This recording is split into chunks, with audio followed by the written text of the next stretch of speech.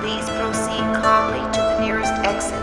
We repeat, please remain calm. Do not panic.